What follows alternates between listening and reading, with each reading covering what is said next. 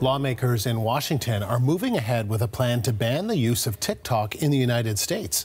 The popular app and its Chinese parent company are targeted in legislation that will hit the House of Representatives this week. And despite intense lobbying by users, the White House says President Joe Biden is prepared to sign it. The CBC's Richard Madden is in Washington with the details. So, Richard, what exactly are lawmakers trying to do here? Hey, Andrew, we're watching this very closely. Lawmakers on Capitol Hill say their goal is to protect American TikTok users from Chinese espionage. Now, few issues unite a divided Congress than taking on big tech. So later this week, House lawmakers will vote on a bill that would ban this widely popular social media app, TikTok, from being downloaded on app stores here in the U.S. unless the company divests itself from its parent company, China based ByteDance, within six months.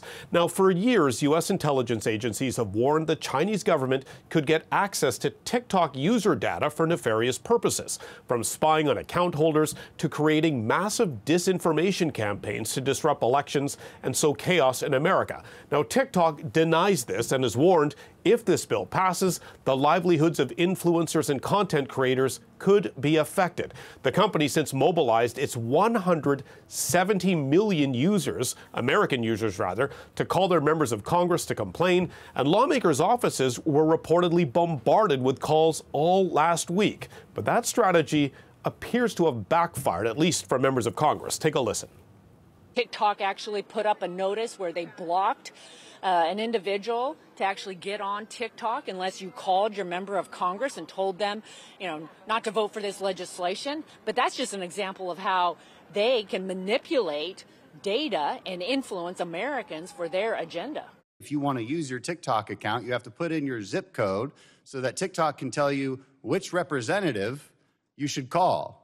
Imagine when China wants to use it more nefariously. Imagine when they want to truly engage in psychological warfare against the American people.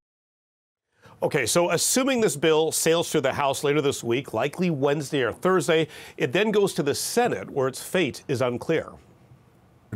So, Richard, how is this playing out in the backdrop of the election campaign? Yeah, Andrew, you can imagine that politicians will use TikTok to reach their audience.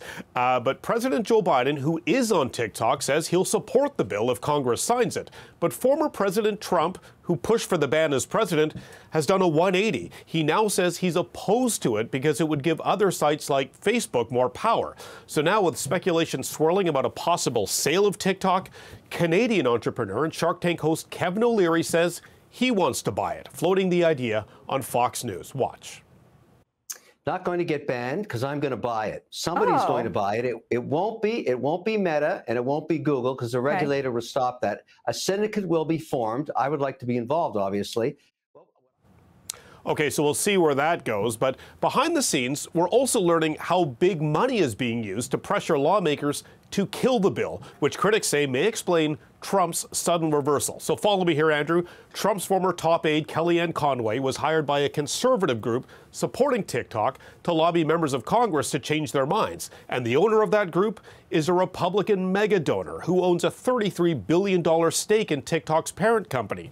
According to the New York Post, he's reportedly threatening lawmakers that he'll stop donating to their campaigns if they vote yes to the breakup of TikTok from its Chinese parent company. So it'll be interesting to see if Republicans fall in line with the power of money playing an outsized role on Capitol Hill. Yeah, it sure will. All right, Richard, thank you. The you CBC's Richard Madden live in Washington.